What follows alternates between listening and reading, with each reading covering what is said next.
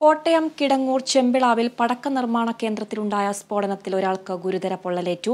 പടക്കശാലയിലെ ജീവനക്കാരനായ ഐക്കരയിൽ ജോജിക്കാണ് പൊള്ളലേറ്റത്.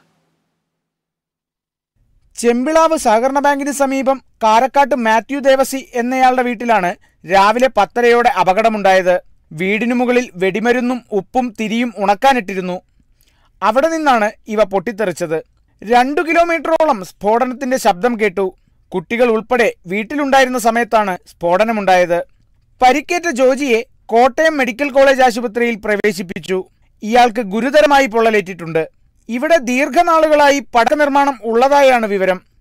കിടങ്ങൂർ പോലീസ് സ്ഥലത്തെത്തി മേൽനടപടികൾ സ്വീകരിച്ചു. Kerala vision news Kottayam.